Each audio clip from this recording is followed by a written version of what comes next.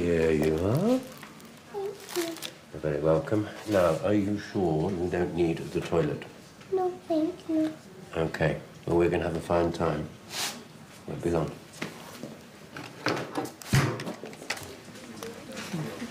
How's Oscar settling in? Oh, surprisingly well. Oh, has he moved into the office? He has made a little land grab there, yes. And how's things at home? Well, he's a little quiet, but on the whole, we seem to have struck up quite a rapport. I hear that you're back on the floor. Well, you know, a couple of surgeons down, so needs must. Yeah, dreaded norovirus. Well, if you need any help. Hopefully I won't, but thank you.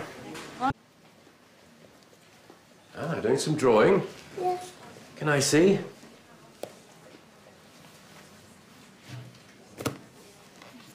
Ah, a secret picture. Excellent. The School of Secrecy was always my favourite artistic movement, you know. Sorry to bother you. That's all right. Hi, Oscar.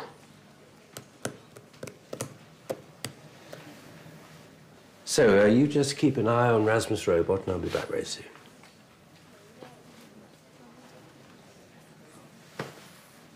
So, uh, how can I help?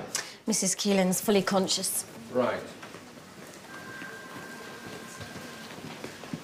Hello, Mrs. Keelan. My name's Henrik Hanssen.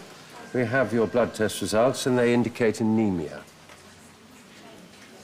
Oh, I'll get that. You are dehydrated, which may explain why you are somewhat disorientated. Your chest x-ray shows an odd shadow on the lung, so we'd like to run a few more tests. Understand what I'm saying? So I'll need uh, CT scan on chest, abdomen, and pelvis. And if you need me, I'll be in the office. In the name of the... Sorry, sorry.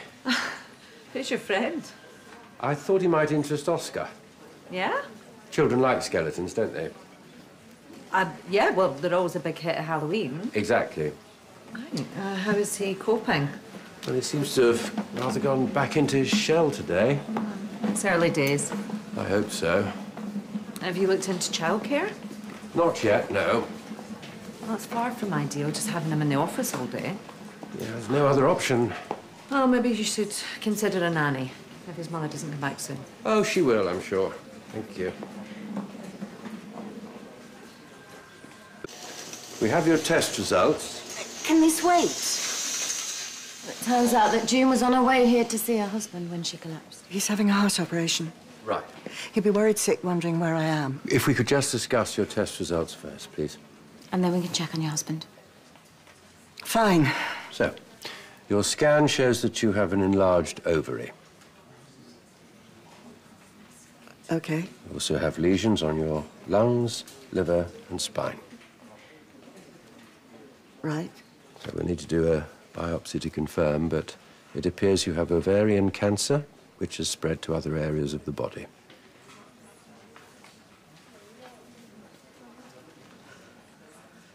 Apart from that, I'm a picture of health. I'm so sorry, June. Can it be treated? There is some treatment available, but it is not necessarily a cure, I'm afraid. So I'm destined for the knacker's yard. I've made an appointment with an oncologist for you, and they'll handle your case from here on in. Just thought it was aches and pains from all the lifting. Lifting? Uh, I'm Roger's carer. Uh, it's my husband. He hasn't been well for years.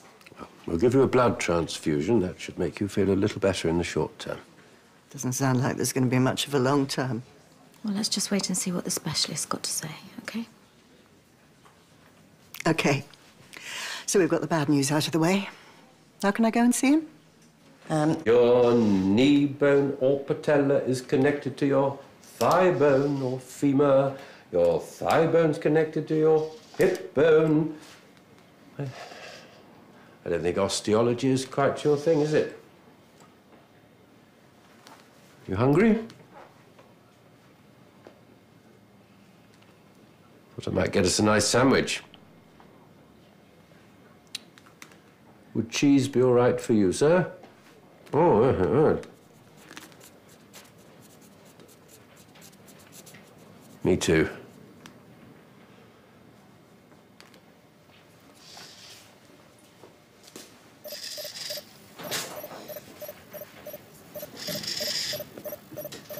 Are you Coming taking through. pi- Out of the way, please. Out of the way. Move. Straight to theatre. Dom. Wait. Oscar? Oscar? What are you doing under there? Huh? Oh, no, your pop. There you go. Very good. Got some sandwiches here. Let's get you up in your chair. Good lad. There you go. Good boy. Make room for the sandwich. There. Napkin for you, sir. Thank you. Now, open it up. So, sandwich for you.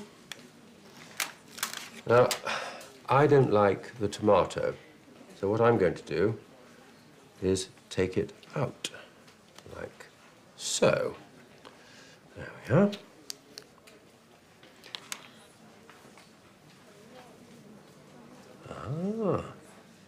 Perhaps it runs in the family. Oh, you don't like lettuce either.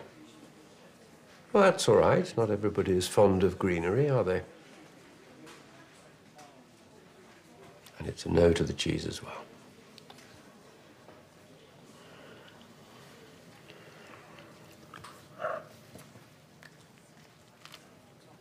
Mmm, quite nice.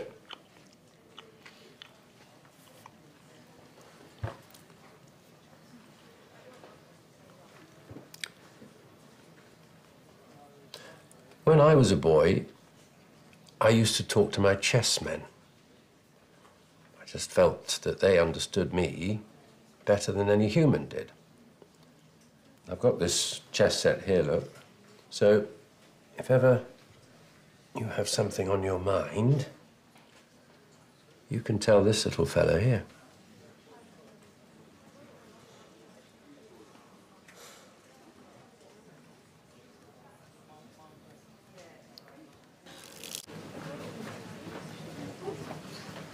On sentry duty? Indeed. How did it go with the skeleton? Let's just say that Oscar's ribs were not particularly tickled. He's still quiet. Positively Trappist, I'm afraid. Well, it's not surprising, is it, really, when you consider he's living with a grandfather he barely knows and wondering where on earth his mother has gone. You'll get there. Well, I. I never did with my own son. Well, we all learn from our mistakes. Or we are destined to repeat them ad infinitum.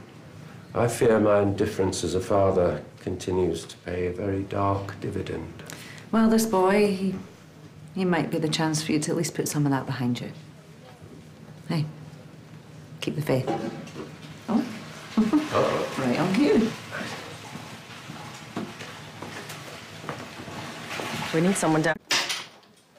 Can I get you anything, Oscar? A Glass of water, maybe?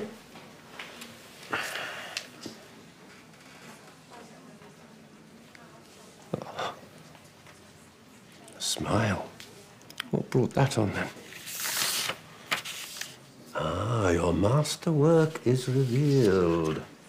Very good. Is that person me? Yes, You spoke. yes, Very good. And is that person you?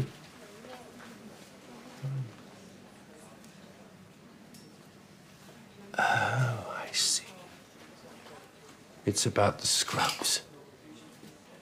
You've been feeling sad today because I've been wearing my funny blue pajamas.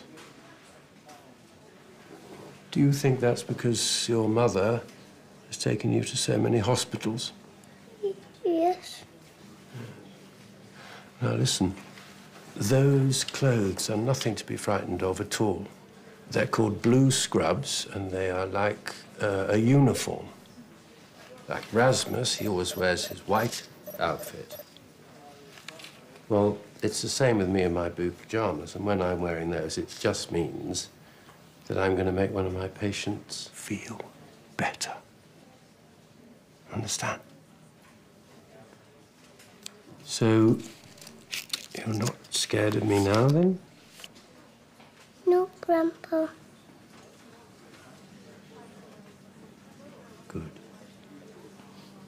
Very good. Very glad to hear it.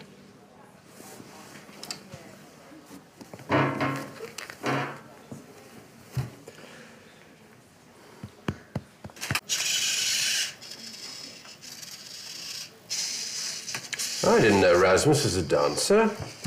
Just a moment. I think I've got some music he might like. He'll probably have to join in, help him out a bit. Ready? Follow me.